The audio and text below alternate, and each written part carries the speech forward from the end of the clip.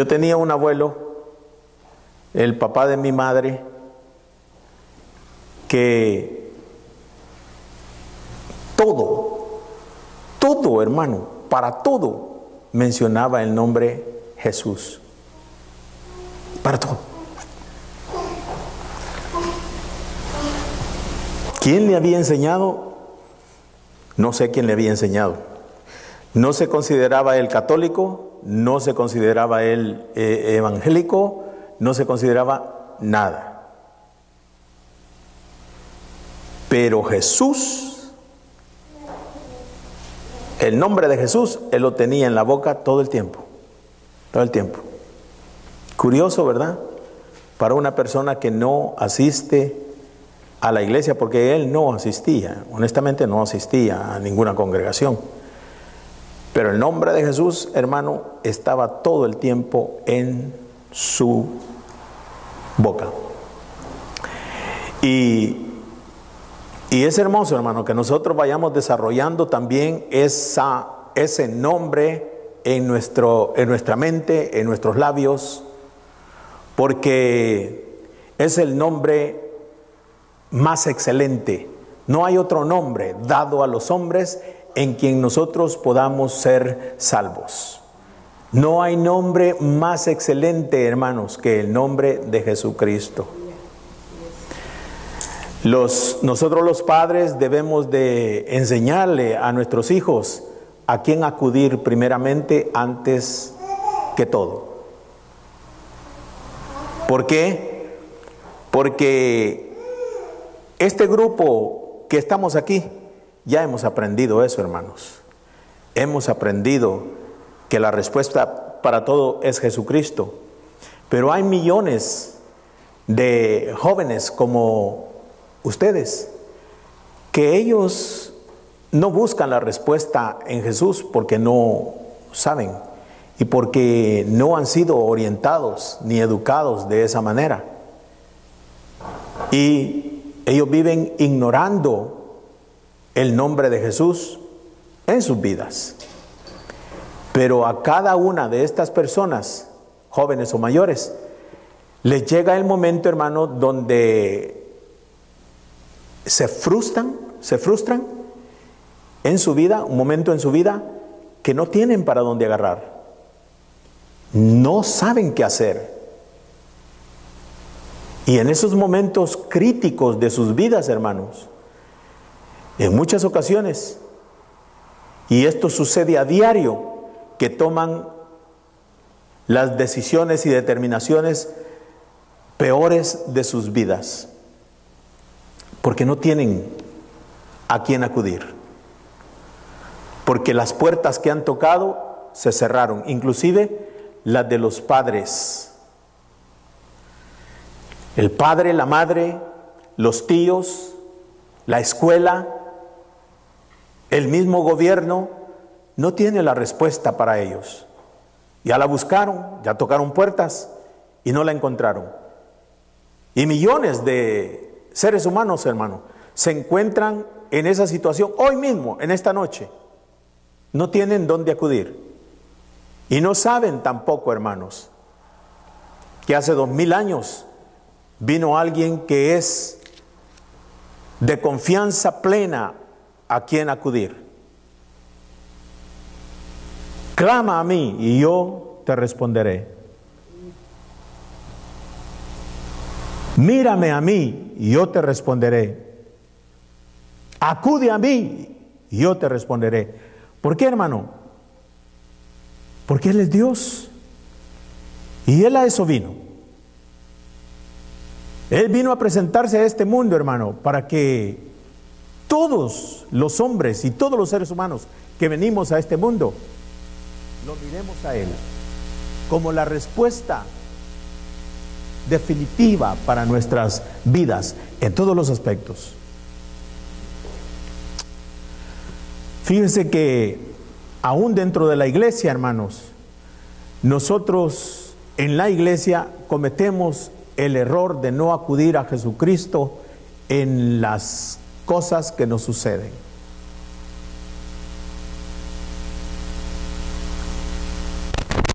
¿Qué en este mundo puede ser más grande que Jesús? ¿Qué en este mundo puede tener más poder que Jesús? ¿Qué en este mundo es superior a Jesús? Circunstancias, cosas. Usted me puede decir, hermano, si hay algo que es superior a Jesús en este mundo. Y yo sé que usted me va a contestar, no hermano, no hay nada superior ni mayor que Jesús en este mundo. Pero es una respuesta casi en la mayor parte de las veces, hermano, una respuesta bastante liviana. No se ha creído eso en realidad con todo el corazón. Miren, en esta tarde Miriam se acercó a mí y me dice, mira, me dice, yo tengo, tengo algo aquí en mi estómago. Y yo me le quedo viendo y le pregunto, ¿y estás preocupada? Y me dice, estoy muy preocupada. Entonces yo le digo, Miriam, eso que tú tienes en el estómago es más grande que Jesús. Y me dice, no, ok, entonces no hay problema.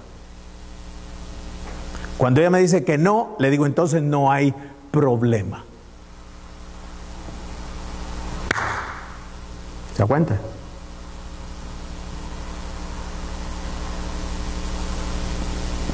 Somos hijos de Dios.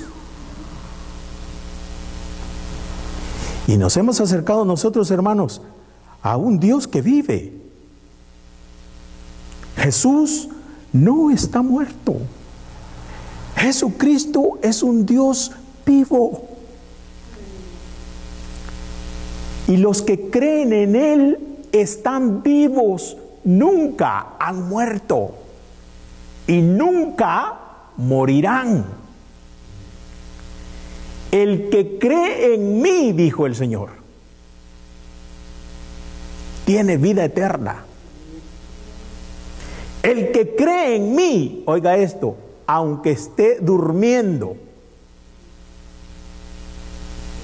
vive. ¿Por qué? Porque yo soy la resurrección y la vida. Él es la resurrección y la vida. ¿Quién puede entender, hermano, la resurrección en este, en este mundo? ¿Qué ciencia puede dar una explicación completa, científica, de lo que es la resurrección? ¿Quién lo puede explicar, hermano, en detalle cómo funciona la resurrección de los muertos?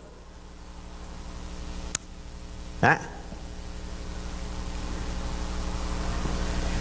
Cristo le dijo a un hombre, hermano, que tenía cuatro días de estar muerto y estar sepultado. ¿Alguno de ustedes me puede decir por qué el Señor, hermano, es específico en su palabra y dice que ya tenía cuatro días de muerto. ¿Por qué cuatro días y no tres?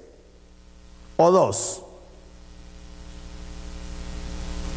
Tomando en cuenta que Él resucitó no al cuarto, sino al tercer día. ¿Por qué al cuarto día? Porque dice la escritura, hermano, que Lázaro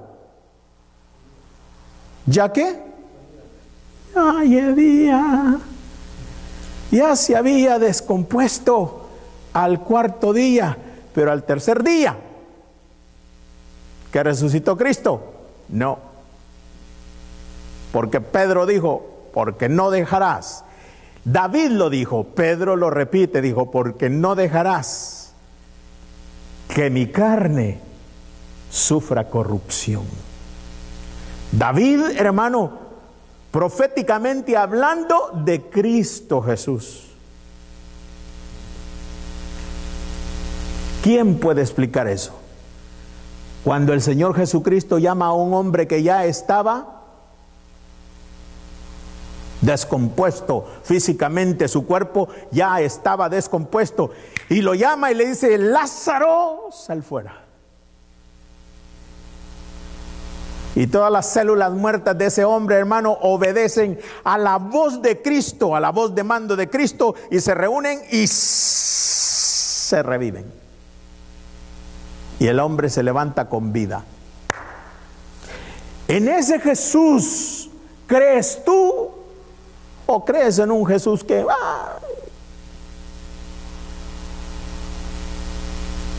pura religión.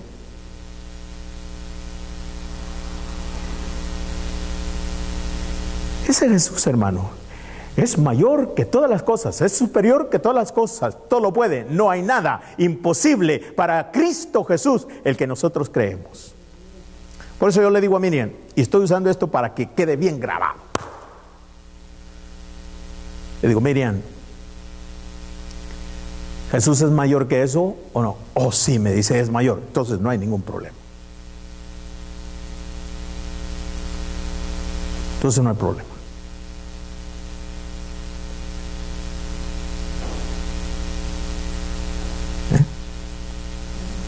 Hermano que no tengo trabajo. Hermano, hermano, hermano, hermano, hermano. ¿Jesús es mayor que eso o no? Sí, hermano. Ok. ¿De veras? ¿Jesús es mayor que, que, que una situación sin empleo? ¿Sí es mayor? ¿Lo crees de todo? Claro. ¿Crees que Jesús eh, va a intervenir y, y, y, y, solucionar esa situación? ¿Lo crees de todo? Sí. Ok, no hay problema entonces. No hay problema. No hay problema. Somos hijos de Dios.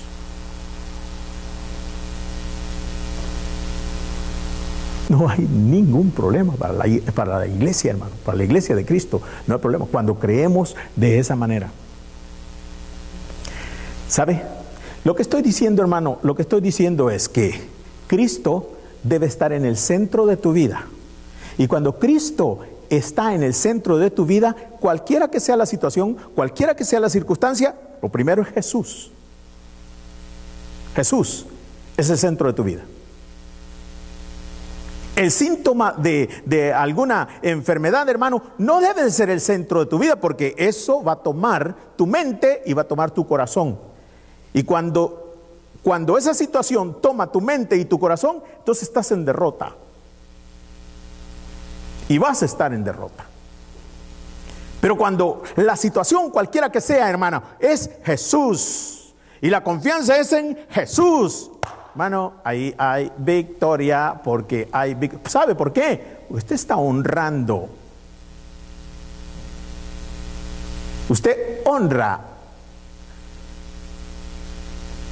a Dios por lo que usted cree. ¿Por qué lo honra? Porque usted cree su palabra. Porque usted cree sus promesas. Porque usted cree lo que Él ha dicho. Mi hermano, en este capítulo 8, en el versículo 3 del capítulo 8, lea conmigo. Lea conmigo. Dice el, el, el versículo 3. Entonces los escribas y los fariseos le trajeron una mujer sorprendida en adulterio, poniéndola en medio. Esto es lo que la religión hace, hermano. Póngame atención, esto es lo que la religión hace. Todo lo pone en medio. Todo lo pone en el centro. Cuando el centro solamente le pertenece a Jesucristo. El religioso no. El religioso, mire, trae esta mujer que es en este momento la representación de pecado y ponen, la ponen a ella enfrente. Es el centro, el foco de atención, el pecado que ella ha cometido.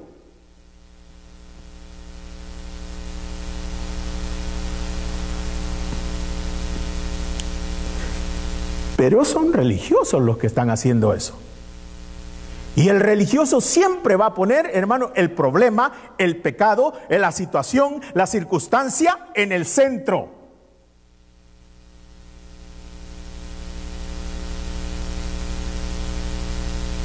Y ese, ese lugar solamente, hermano, le pertenece a Jesús en la vida de un hijo de Dios. Es Jesús el que debe estar en el centro de toda situación, circunstancia. Pero aquí no vemos a Jesús, aquí miramos que el religioso lo que hace es traer su problema, el problema, y lo pone en el centro. Error tremendamente. Jesús se les queda viendo y le dice, bueno, traen ustedes ese problema y lo ponen en el centro y por pensar de esa manera no se dan cuenta que ustedes mismos traen un problema grande y siempre están, están pensando alrededor de eso y alrededor de eso. Y su pensamiento no es victoria, su pensamiento no es alabanza, su pensamiento no es adoración, su pensamiento no es agradecimiento al Dios de los cielos, al Dios que ha vivido y ha muerto por ti y ha resucitado y te ha dado todas las bendiciones que tú puedas imaginar. Pero tu pensamiento es el pecado, tu pensamiento es el problema, tu pensamiento es la circunstancia adversa. Y dice, Señor, no, no es de esa manera. Has embebido en, esa, en es, eh, eh, enfocado en eso, que tú mismo eres un problema para ti mismo. Señor les dice, bueno, si ustedes traen un problema y lo ponen en el centro, eh, ejecútenla. Terminen con el pecado o terminen con esa pecadora. Yo a eso he venido. Pero si ustedes lo pueden hacer, termínenlo. El único que puede terminar con el pecado es el que no tiene pecado.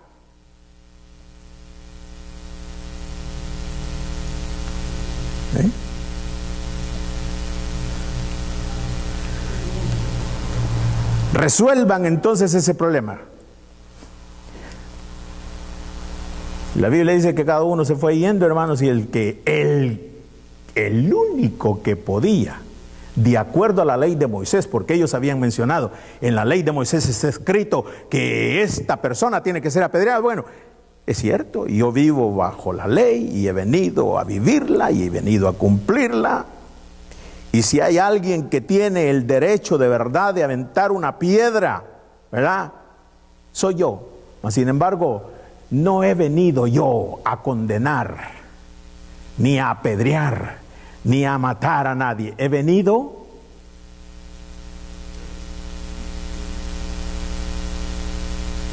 a salvar. He venido a sanar. A eso he venido. Bendito sea el nombre de Jesús. Amén, hermanos. ¿Cuál fue el punto entonces? Hasta este momento, ¿cuál es el punto principal del que venimos hablando? De de mi vida. Hagámoslo personal. De mi vida. ¿eh? De mi vida. ¿Por qué? Porque Jesús es mayor que todas las cosas y para Él no hay nada imposible. Absolutamente nada imposible, hermanos. Bendito sea Dios. Los discípulos de Cristo, hermano, los discípulos de Cristo, fíjese, hay un hombre, hermano, que es ciego de nacimiento y entonces los discípulos, Cristo, Cristo lo que, lo que está viendo es un hombre en necesidad. Pero los discípulos de Cristo, hermano, cuando miran a este hombre que es ciego de nacimiento en el capítulo 9, le dicen, Señor, ¿quién pecó? ¿Eh? ¿En qué, se están, ¿En qué están enfocados? Y son discípulos de, Cristo, son discípulos de Cristo. ¿En qué se enfoca? Señor, ¿quién pecó? ¿Pecó él o pecó o pecaron sus padres? para que él se encuentre en esta situación? Ah, Jesús le dice, ¿sabe qué? Ni él ni sus padres, sino que él se encuentre de esta manera, ¿para qué? Para que la gloria de Dios sea manifestada. Si algo pasa con tu vida, oye eso, si algo pasa con tu vida que tú dices, ay, está terrible esto, pero eh, Cristo, esto me está sucediendo para... Esto Dios lo está permitiendo para... ¿Ah? ¿Para qué está sucediendo esto? ¿Eh? Verificación. Fíjense pues, hermano, lo que dice, Cristo le dice, ni sus padres ni él han pecado. ¿Por qué se encuentra así? Se encuentra de esta manera para que la gloria de Dios sea manifestada. O sea, esa situación, hermano, no era algo que estaba sorprendiendo a Dios, al Señor Jesús. El Señor Jesús sabe todas las cosas. Pero esa situación en ese hombre, hermano, era para que la manifestación de Dios, de la gloria de Dios, se manifestara en esa vida. Igual, hoy día también. ¿Cuál es tu situación? Pon en el centro a Jesucristo. Y dice, Señor, esto está sucediendo, esto me está pasando, para que tu gloria sea manifestada en mi vida. En mi vida. ¿Por qué? Porque tú no eres un incrédulo. Porque tú no eres alguien que ha rechazado a Jesús, tú eres alguien que has aceptado a Jesús. Alguien que crees en Jesús. Y eso es lo que hace la gran diferencia entre un incrédulo y uno que cree.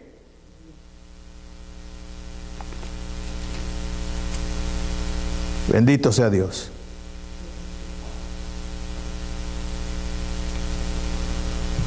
Ok. Les decía, hermanos, que mi abuelo murió como de 80 años más o menos. Pero cuando él murió yo tenía como 17, 18 años. Y siempre él vivió en la casa de mis padres. Y durante esos 18 años, hermanos, el, el, el hombre, el anciano, mi abuelo, no me hablaba a mí de historias bíblicas, no me hablaba absolutamente nada de esto, porque yo pienso que él no conocía. Pero él dejó una lección tan grande en mi corazón, hermanos, que hasta el día de hoy yo recuerdo a mi abuelo y cuando lo recuerdo, lo primero que pienso en él es que cómo estaba en su boca todo el tiempo el nombre de Jesús. Para todo. Para todo. Jesús estaba siempre en su boca. Creía de tal manera en el Señor Jesús, hermanos, que cuando él se acostaba solamente, yo, yo, entraba, de, de, repente entraba a, a, donde él dormía, a su cuarto, hermano, y él estaba, mire, en un completo silencio, con sus brazos levantados, sentado en su cama. Ya en lo oscuro, hermanos. Así lo encontraba yo a, mi anciano abuelo. Y así, mi hermano, Jesús, Jesús, Jesús.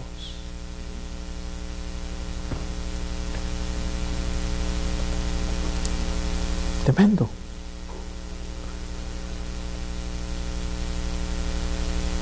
Para mi abuelo, Jesús estaba en el centro de su vida.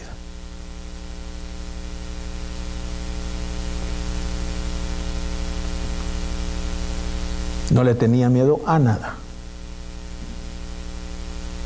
Y yo no veía a ese hombre preocupado por nada.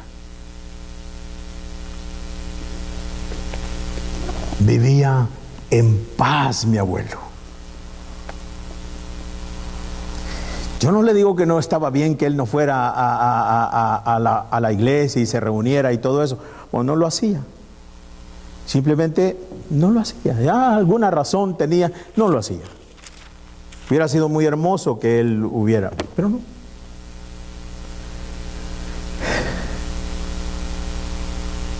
Pero el centro de su vida era Jesús. Y eso es lindo. Versículo 32, hermano.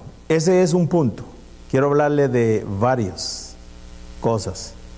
Pero este es un punto y, quiero repartirlo de esa manera, hermano.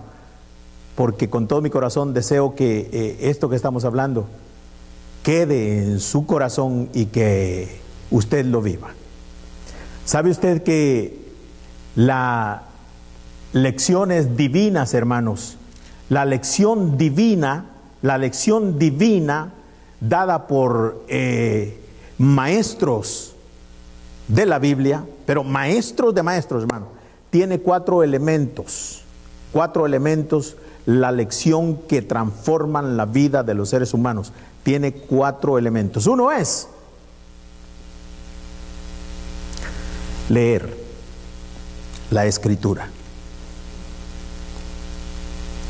Leerla, hermano,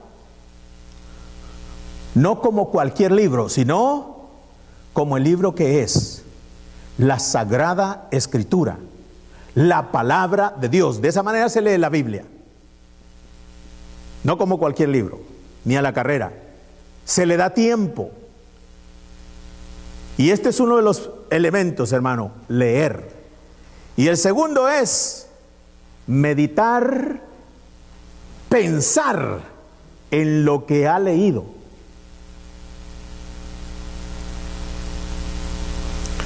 Y el tercer elemento, hermano, es postrarse delante de Dios en agradecimiento por lo que ha leído y ha entendido.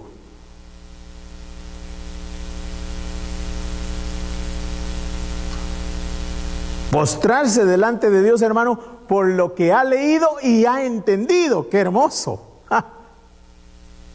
Porque ahora hay gratitud de lo que ha entendido de parte de Dios. Ahora, hermano, y el cuarto elemento es vivirlo. Que podemos, hermano, traducirlo a transformación. ¿Cómo usted puede vivir algo que no entiende?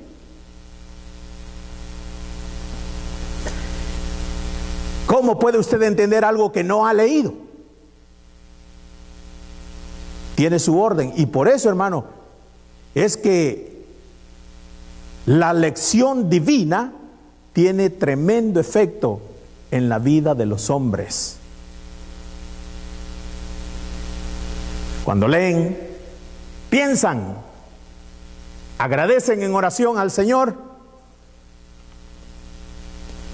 y lo viven. Lo viven.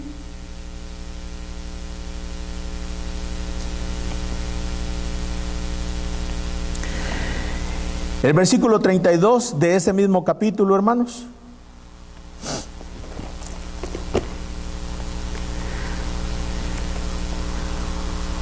Dice el versículo 32, y conoceréis, este es otro punto, y conoceréis la verdad, y la verdad os hará libres. Conoceréis la verdad, y la verdad os hará libres. Aleluya. Libres. Si quiere pelear con lo que el Señor dice, Usted puede tener un argumento a, esta escritura que son palabras directas de Jesucristo, hermano. Y lo que le respondieron en el versículo 33 dice, linaje de Abraham somos y jamás hemos sido esclavos de nadie. ¿Cómo dices tú, seréis libres? ¿Ah? Están rechazando, hermanos, en presencia de Cristo, están rechazando su palabra. Porque el Señor les está hablando de liberarlos, de hacerlos libres. Y la respuesta de ellos es, no somos esclavos, sino que somos libres. ¿Eh? ¿Por qué? ¿Por qué son libres? Porque ellos, hermano, tienen una verdad. Porque de niños, desde niños, desde su infancia, ellos han sido instruidos y han sido enseñados en la palabra de Dios.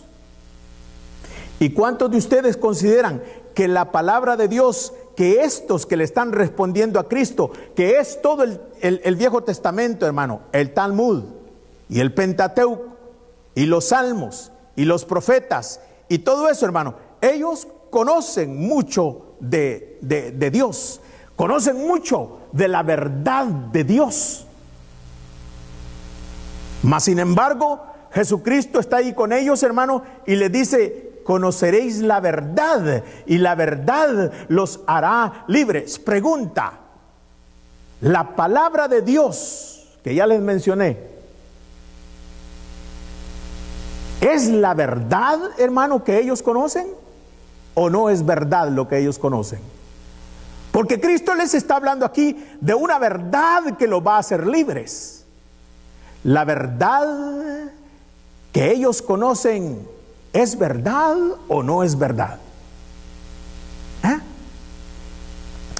El Pentateuco, los profetas, los salmos, los proverbios, hermano, ¿es la verdad de Dios o no es la verdad de Dios?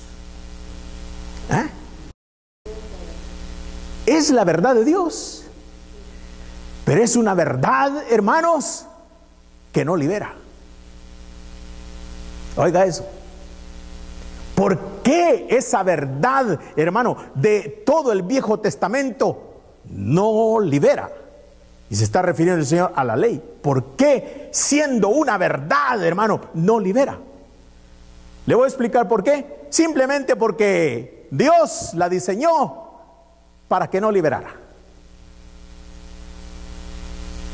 Ese es el diseño que Dios le dio. ¿Es verdad? Sí es verdad. Todo el Viejo Testamento, hermano. Toda la ley es santa, es pura, es divina, es verdad. Pero Cristo les está hablando aquí, hermano, de una verdad que libera. Porque la verdad que ellos tienen no libera. Simplemente porque no fue diseñada para liberar.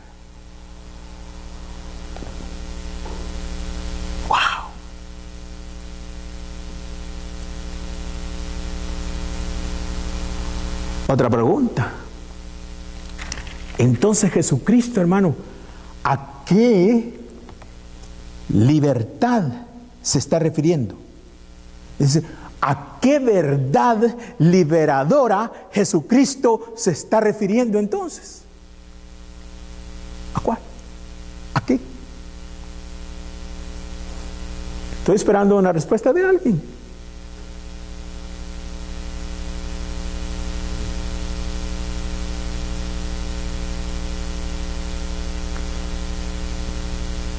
Porque Él dijo esa verdad y ahora, hermanos, con la introducción del Hijo de Dios a este mundo, viene otra verdad. Viene otra Una nueva dimensión con la palabra de Dios. Pero ahora, hermano, diseñada para liberar, para hacer libre al hombre. ¿A qué se está refiriendo? El Señor Jesús, cuando dice, conoceréis la verdad y la verdad os hará libre. Alex, ¿Cuál es esa verdad? ¿Cómo se llama? Ah. ¿Cómo se llama? Amén. Se llama Jesucristo. Pero ¿sabe cómo se llama, hermano? La verdad que no libera era la ley. ¿Y sabe la verdad que libera cómo se llama? Gracia. De eso está hablando el Señor acá. Está hablando de la gracia, hermano, de la gracia que libera. Ahora, vamos a tener cuidado, hermano, porque Hay una gracia que se conoce que es una combinación de gracia, es una combinación de, una de la verdad antigua y de la verdad nueva. La verdad del viejo pacto y la verdad del nuevo pacto no pueden estar juntas. Porque la verdad del viejo pacto, el Señor dice que se le encontró falta. No a la verdad, sino a quienes les fue, se les fue entregada la verdad. La verdad es la verdad de Dios, es la verdad poderosa de Dios, es la verdad, hermano, excelente y perfecta de Dios. El problema con esa verdad, hermano, es que nosotros como seres humanos éramos incapaces de poder enfrentarnos a esa verdad y poder vivir de acuerdo a esa verdad. Pero Cristo entra, hermano, a este mundo y viene con una verdad que te libera. ¿Y por qué te libera? Porque ha, sido diseñada, hermanos, y ha sido dada con ese propósito de liberar al hombre. ¿Por qué? Porque es un regalo, porque es gracia, porque es misericordia, porque es justicia divina, porque es, hermano, comprensión total de parte de Dios hacia el hombre. La gracia, hermano, debemos nosotros de aceptarla en su totalidad. Y para eso necesitamos leer, pensar, orar con gratitud al Señor para vivirla. Para poderla vivir, para poderla disfrutar, para poder obtener, hermano, diariamente el beneficio de Dios, el beneficio del Señor Jesucristo, de su verdad.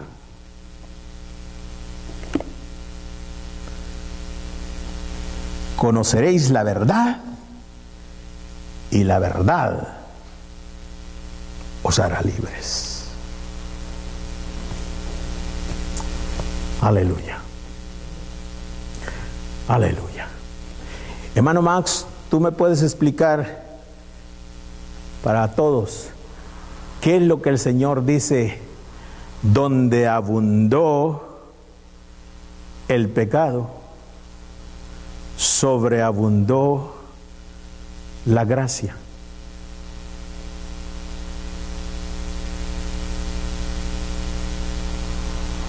¿Eh? Donde abunda la confusión, sobreabunda la gracia. Donde abunda, hermano, todo lo contrario a la gracia, la gracia sobreabunda sobre eso. Porque ¿Quién es esa verdad? Le pregunté a Alex, ¿quién es esa verdad? Jesus. ¿Y cuál es la diferencia de Jesus y la gracia? ¿Eh? Jesús es la gracia y la gracia es Jesús. Por eso Él debe estar en el centro. Porque el amor de una abuela. Porque cualquiera, hermano, que sea la situación, Jesús está en el centro, Jesús es la gracia, Jesús sobreabunda sobre cualquier cosa que esté pasando. ¿Sí, sí, sí me pusieron atención lo que les dije? Ahora, entiéndamelo entonces, donde abunda el pecado, ¿Qué es lo que sobreabunda? ¿Usted cree, hermano, que el pecado en este mundo es más grande que la gracia de Jesús? No. ¿Usted cree, hermano, que la situación adversa de muchos hijos de Dios, dificultades, debilidades y todo eso, hermano, es mucho más grande que Jesús, que su gracia. ¿Qué es lo que sucede cuando en la vida de un hijo de Dios hay mucha debilidad personal? ¿Qué es lo que sucede, hermanos? ¿Ah? Contésteme. Si en su vida como cristiano hay muchas debilidades, ¿qué es lo que está operando entonces en su vida de parte de Dios? ¿Ah? Más gracia. Más gracia. Más gracia. Hermano, el pensar correctamente el pensar correctamente o el entender correctamente la palabra de Dios, hermano, esa es la libertad.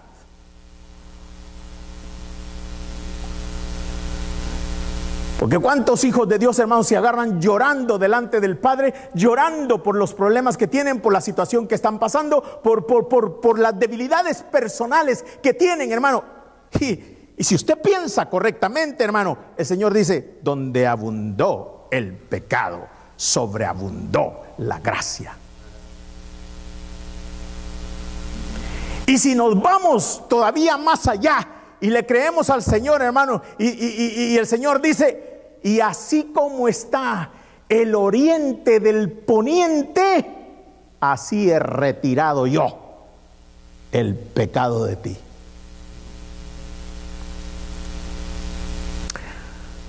Pregunta, ¿Dónde comienza el poniente y dónde termina el oriente?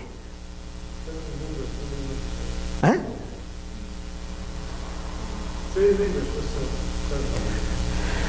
Ok. West and east, right? West and east. Where is the beginning of the west and where is the end of the east? Can you explain me some of you? There is none. So it's what exactly what the Lord says.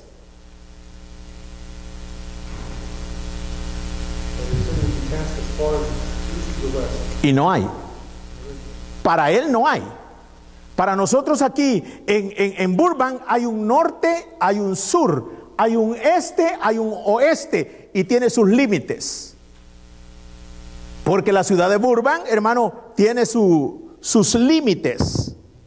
Si te pasas tú un pie o dos pies, ya estás en Glendale. Si te pasas un pie o dos pies, ya estás en North Hollywood. Y entonces ahí se puede contar, oh, ya aquí es el norte, pero el norte de Hollywood, North Hollywood. Pero aquí es el, el este, ¿verdad? O el sur de Burbank. Entonces, vea conmigo, hermano, para que podamos explicar un poquito más esto. Eh, eh, donde el Señor habla de, de esto precisamente, que pecado, pecado en ti, en la iglesia. Oh, vamos, vamos, vamos a entenderlo correctamente, vamos a creerle a Dios, vamos a, creerle a, a, los hombres, o a quién le vamos a creer. ¿A quién le vamos a creer? Porque hermano, vamos a ir al Viejo Testamento. El Viejo Testamento es la verdad de Dios. La verdad que no libera. Y es una verdad que no libera, hermano, si tu pensamiento no ha sido transformado y revolucionado por la gracia. Oh, pero ahora a la luz o en la luz de la gracia, hermano, el Viejo Testamento cobra vida y es lo que ha sido siempre. La palabra poderosa y bendita de Dios. ¿Quieres abrir conmigo en Salmo? Salmo 103.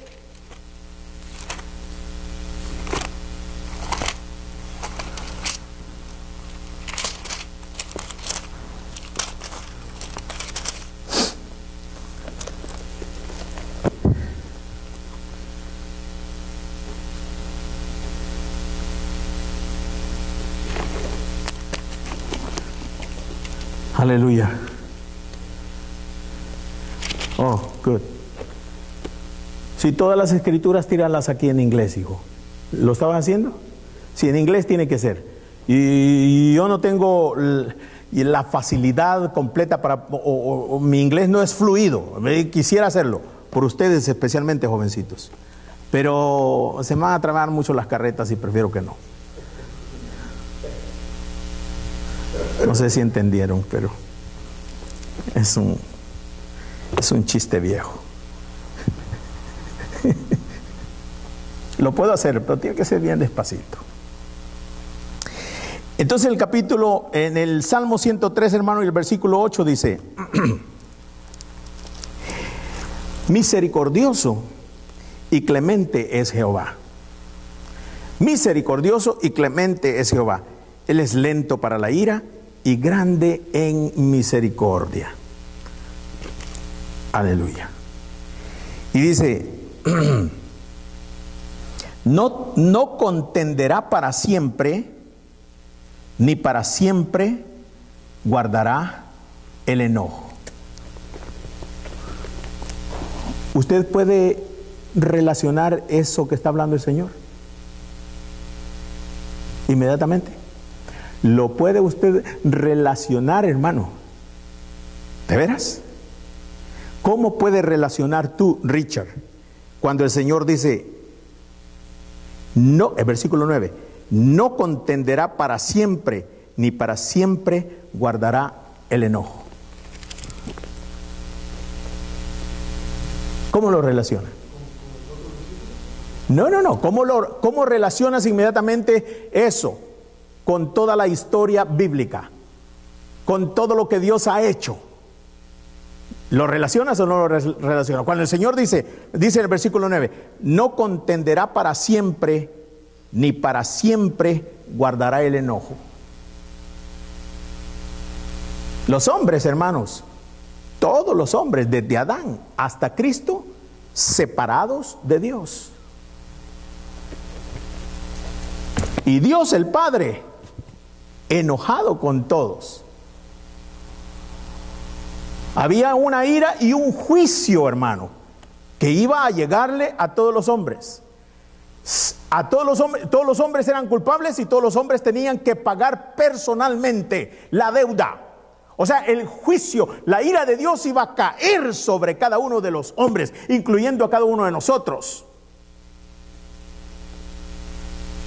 Pero dice, no contenderá para siempre, ni para siempre será mi enojo. ¿Por qué? Porque iba a aparecer el Hijo de Dios en este mundo. Y él iba, él es el que vino a cargar, hermano, con toda la culpa y el juicio todo completamente de Dios fue puesto sobre él. Y allí se aplacó la ira y el enojo de Dios contra los seres humanos. Ah, entonces, ahora que yo leo el Viejo Testamento, que es la verdad de Dios, cobra vida, hermanos. Cobra vida, ¿por qué? Por Cristo, por su gracia, por Jesús porque Jesús, hermano, es el centro de todo. Toda la escritura, hermano, el centro es Jesús. Y no importa si usted se va a Génesis, Éxodo, Levíticos o lo que sea, Jesús siempre es el centro.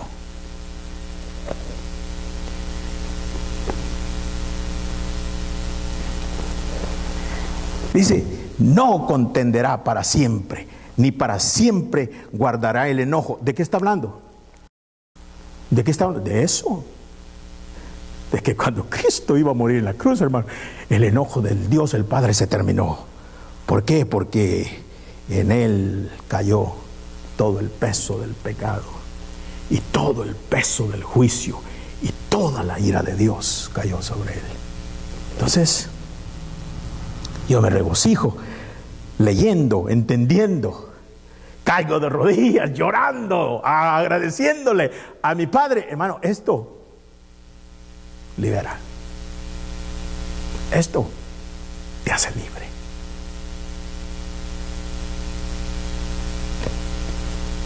Conoceréis la verdad y la verdad te hará libre.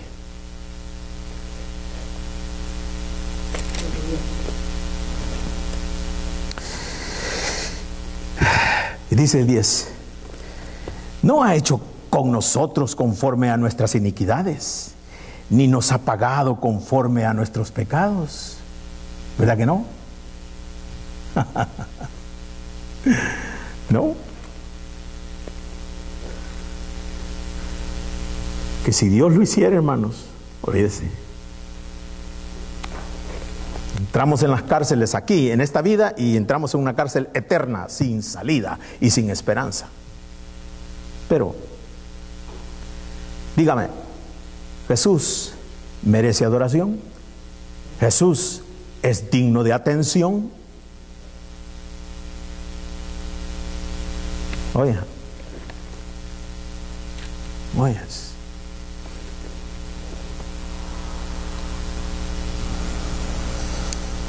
Versículo 11 dice, porque como la altura de los cielos sobre la tierra, engrandeció su misericordia sobre los que le adoran. ¿Cómo dice, hermano?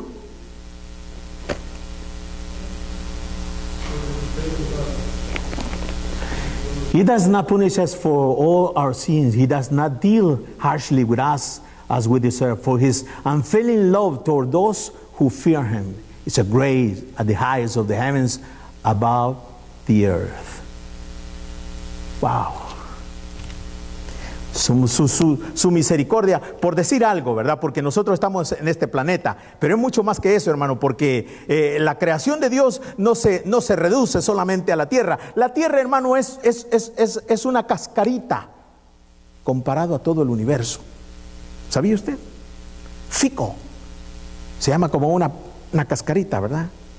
Eso es, hermano, lo, lo que representa toda la tierra, todo el globo terráqueo en comparación a todo el universo. Pero como se está refiriendo a estas criaturas que ama tanto el Señor, que son terrenales, usted y yo. El Señor habla de cielos y habla de tierra. Pero en realidad no se limita a eso, porque su creación es infinita. Pero dice, así como la tierra, así como los cielos los cielos son más altos, lo que tú conoces, lo que tú y yo conocemos. Los cielos son mucho más altos que la tierra. Así es mi misericordia. Así es mi misericordia, mi amor, mi, mi comprensión por ti. Así es.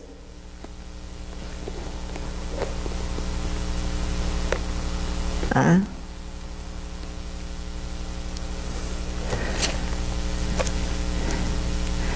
Y luego dice, hermanos,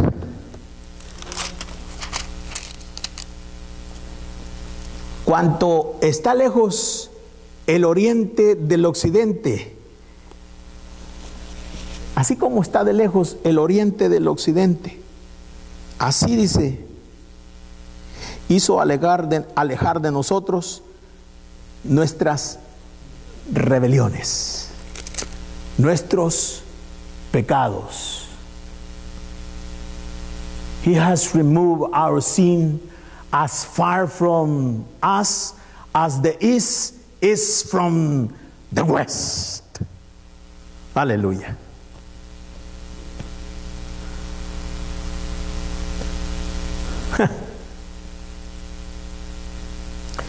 En otra escritura dice, ¿verdad? Tomando en cuenta que nosotros estamos aquí en la tierra, dice, envió nuestros pecados a lo más profundo de la mar a lo más profundo de la mar. ¿Quién ha llegado a lo más profundo de la mar? Nadie. Para que no puedan alcanzarte.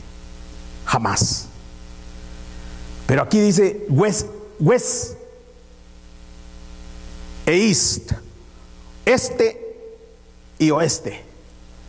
Y cuando Dios piensa eso, hermano, está hablando del universo. ¿Dónde está el este y el oeste en todo el universo es infinito. Así ha separado Dios el pecado de su pueblo, de su iglesia. Porque Cristo terminó con el pecado.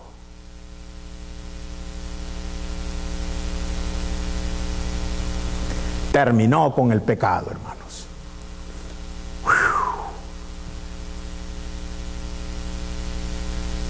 Esta verdad libera. Esta verdad te hace libre. Esta verdad, hermano, te hace libre. ¿Sabes por qué? Tú no andas pensando en el pecado. Tú no pones en el centro de tu vida el pecado y las situaciones adversas. Tú quien pones en el centro es a Jesucristo y le da gracia, hermano, por estas maravillas que Él ha hecho en tu vida. ¿Las entendías? No, no.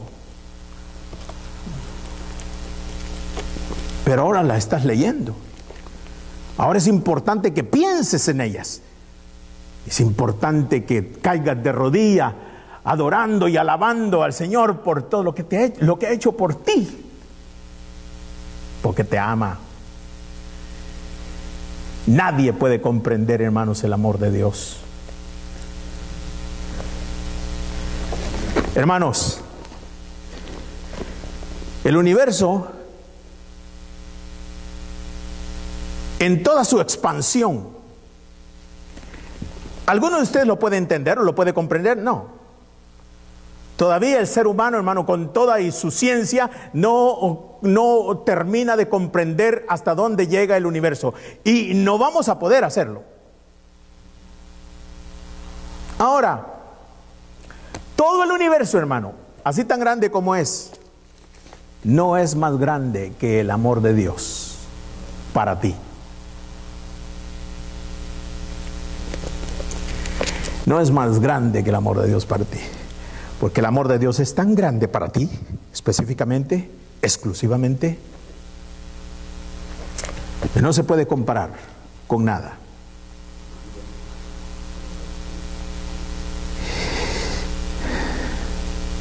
Cuanto está lejos el oriente del occidente, hizo alejar de nosotros nuestras rebeliones, nuestros pecados. Ahora, hermano, Tú has, tú has leído conmigo el capítulo 10 de Hebreos. Y cuando el capítulo 10 de Hebreos, hermanos, habla y te dice, por una sola ofrenda, y con una sola ofrenda, Dios hizo perfectos a los santificados. Te hizo perfecto. Y dice, y a Jeremías le dice, a Jeremías le dice, vienen días en cuanto yo haré un nuevo pacto con la casa de Israel. Un nuevo pacto. Dice nuevo, porque el viejo se queda atrás. Haré un nuevo pacto. Y cuando haga ese nuevo pacto, dice, jamás me recordaré de tus rebeliones y de tus pecados. Jamás. Y el escritor del libro de los Hebreos, hermano, solamente está repitiendo lo que Jeremías dijo. Y sabe usted, hermano, que el ministerio de Jeremías, hermano, era de llorar y de denunciar el pecado de apuntar con el dedo el pecado del pueblo de Dios. Pero cuando Jeremías, hermano, le está dando esta revelación Dios, el Padre, creo que, creo que Jeremías puede haber dicho, ah, entonces yo quedo sin trabajo. Quedo sin trabajo. Porque mi trabajo es denunciar el pecado. Apuntar con el dedo el pecado. Pero el Señor le está hablando, vienen días, Jeremías, que haré un nuevo pacto. Y en ese nuevo pacto borraré las rebeliones y el pecado de mi pueblo. Y jamás me acordaré de ellos, porque los haré perfectos. Porque cuando yo los mire a ellos, los miraré perfectos, no los miraré como los mira su hermano, como lo mira su tío, como lo, mira su, su, su empleador. No, yo lo miraré perfecto. Y así es como nos mira el Señor. Perfectos. Aleluya. Bueno, lo que estamos hablando es liberación, es libertad. La manera de pensar, como usted piensa, hermano, como usted piensa, así es como usted va a vivir. Si usted vive pensando en pecado, eh, vive pensando en enfermedad, vive pensando en derrota, vive... Eso es lo que está viviendo. Pensar correctamente, hermano, es vivir correctamente.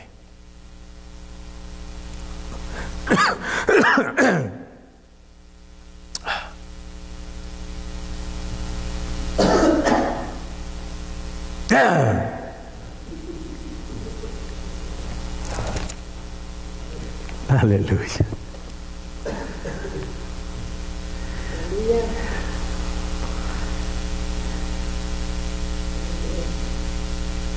Bendito sea Dios.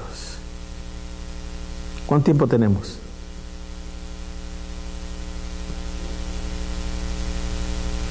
¿Tenemos todavía tiempo? Mi hermano, nosotros somos la iglesia, la iglesia que Dios ha, iluminado. ¿Qué? El mundo está en oscuridad. El mundo está en oscuridad, pero la iglesia no. La iglesia no está en oscuridad. El mundo puede ser muy intelectual y puede conocer muchas cosas, hermano, y es más, son muy inteligentes. Claro que son muy inteligentes. Claro que son muy inteligentes. En ese mundo, hermano, de oscuridad, fíjese bien, hay gente tan inteligente que uno, a la par de ellos, queda bien pequeño en cuanto a conocimiento y en cuanto a libertad de expresión y tantas cosas. Uno queda pequeñito, hermano, uno queda pequeño, de verdad, de verdad. Pero la iluminación que ellos tienen, hermano, es natural. Es como el sol que nos alumbra, hermano. Es, es, una luz natural. Pero usted recuerda, hermano, que en el, en el, tabernáculo de Dios ah, estaba la luz natural que estaba afuera y era para todos. Pero dentro del lugar santo, ¿qué es lo que encendía el lugar santo, hermanos? Hermano Rafael, ¿qué es lo que encendía? ¿Cuál era lo que, qué era lo que iluminaba dentro del lugar santo? La luz que producía el candelabro y el candelabro es tipo de del Espíritu Santo que se ha quedado para iluminar a la iglesia. Recuerde que es el lugar santo del tabernáculo, ¿verdad? Y allí quienes entraban, hermano, ¿quiénes entraban al lugar santo? Solamente los sacerdotes, solo sacerdotes entraban allí. En otras palabras, hermano, esta es la iglesia. Y en la iglesia, hermano, la luz que nosotros recibimos dentro de la iglesia es la luz que el Espíritu Santo nos da. Ah, el Espíritu Santo nos da. El mundo, hermano, allá intelectual, recibe una luz que es natural. Pero la iglesia recibe luz del Espíritu Santo. Y solamente la iglesia puede entrar al lugar santo donde, nos, donde nosotros estamos. Pero la invitación es más allá todavía, hermano. La invitación es para el lugar santísimo. El lugar santísimo, donde no, no hay luz natural ni tampoco la luz del candelero, la luz del candelero. La luz, hermano, que solamente está dentro, detrás del velo, en el lugar santísimo es la misma presencia de Dios a la cual nosotros hemos sido invitados a entrar, hermano, y recibir esa luz, luz de la presencia divina de Cristo. Wow.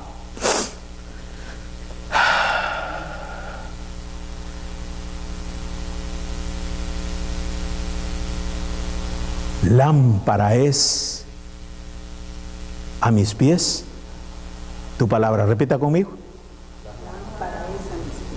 ¿Dónde dice eso? ¿Salmo qué?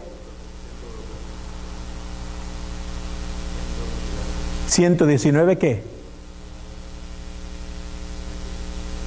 119 lámpara, la luz de Dios. Lámpara es a mis pies tu palabra. 105. ¿Será 106, 105?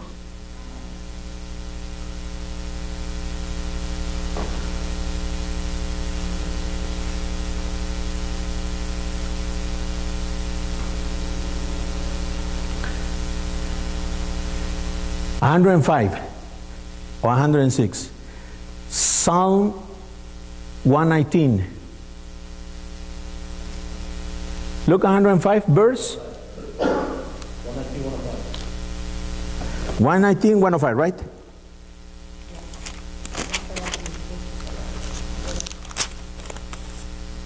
Lámpara es a mis pies tu palabra. ¿Qué?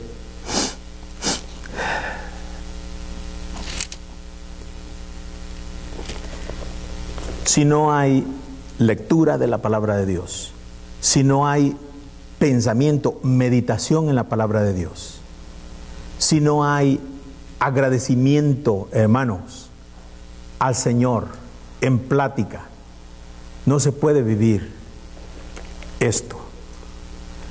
Estos son cuatro elementos, hermano, que usted debe de aprender y de reconocer y de practicar en su vida. Lectura, meditación, gratitud en su corazón a Dios para que pueda vivir esto. ¿Sabe por qué? Porque esto precisamente es lo que es la palabra. En este mundo de oscuridad que vivimos, hermano. El mundo está en oscuridad y solamente tiene luz natural. Nosotros tenemos el privilegio de tener la luz que el Espíritu Santo nos alumbra en nuestros corazones. Y todavía tenemos, hermano, la invitación de entrar hasta el lugar santísimo para ser resplandecido por la gloria de Dios. Y ese es un privilegio exclusivo de la iglesia, de usted y de, y de mí. ¿Por qué desperdiciar esto que Dios ha dado para nosotros? Fíjese lo que su palabra es para el Hijo de Dios, hermano Lámpara es a mis pies tu palabra. O sea que yo leo tu palabra, la leo, la, medito, hermano, y te doy gracias, Señor, por todo esto. La entiendo. Hermano, yo sé por dónde voy. Mi camino no está en oscuridad. No estoy desorientado. Yo no camino a lo loco en esta vida. Yo en esta vida, hermano, sé para dónde voy y sé de dónde vengo. Y mis pasos, hermano, los ilumina la palabra del Señor. La palabra es, ha sido dada para eso, para, para que me oriente y para que sepa dónde voy. Para que en, en mi corazón no hayan dudas, sino seguridad, hermano, de dónde y a dónde yo me estoy conduciendo. ¿Sí? Y luego dice el Señor hermano, y lumbrera a mi camino. Aleluya, como quien dice hermano, un reflector.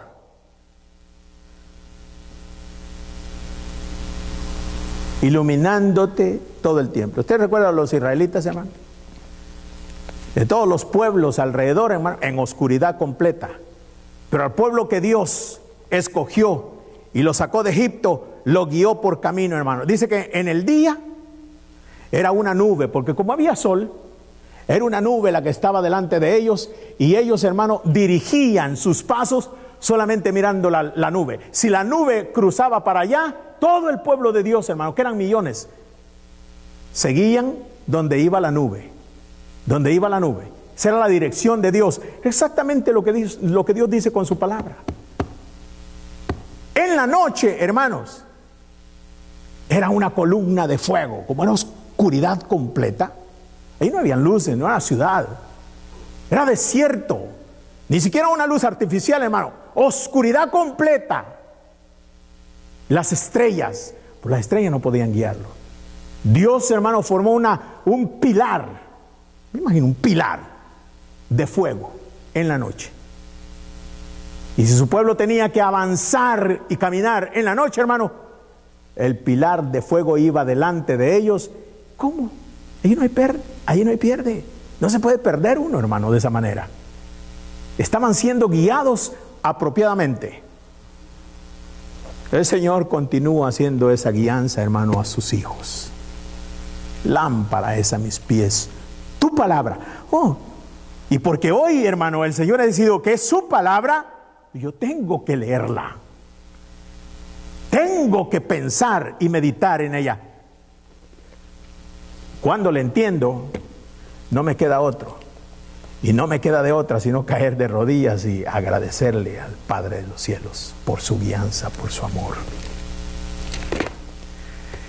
Y eso se traduce a vivir en gratitud, a vivir en entendimiento, a vivir en la luz.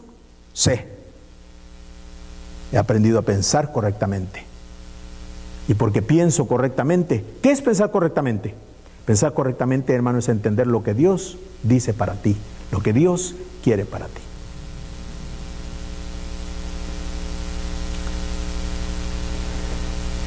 Dios dice que mandó tus pecados tan lejos que es imposible que tú puedas irlos a recoger. De esa manera vive, porque eso es lo que Él dice. Él dice que no estés pensando en tu pecado, que pienses y que pongas y que honres y que pongas en el centro de tu vida a Jesús, que medites en Él, su palabra. Amén, aleluya, gloria a Dios.